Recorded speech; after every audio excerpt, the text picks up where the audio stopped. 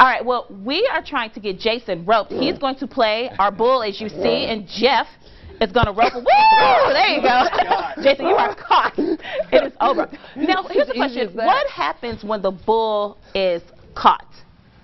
When they get done, when when the bull, when they get done riding the bull, he just runs out of the pen. But in the team roping, Yeah. the header he ropes the horns, and the heeler comes in and ropes the feet, and then they let it go and it runs out the pen. Gotcha. So you get Okay. it all tangled up, Yeah, right? right. Rope it up, and then let it go. That's Right. right. Cool.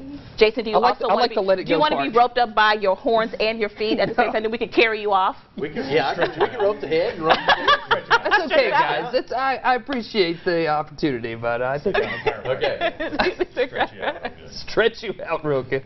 No, but I can't wait to go to the rodeo and see uh, some professionals doing that, We right? to see you Absolutely. there everybody else, want everybody in the community to come out and Yeah. see this. Absolutely. And don't Yeah. forget, there is a parade tomorrow at 3 at 3 o'clock. All the information will be on our website, nwahomepage.com. Thank you guys so much. Thank you guys so having us. fun. Thank you so much.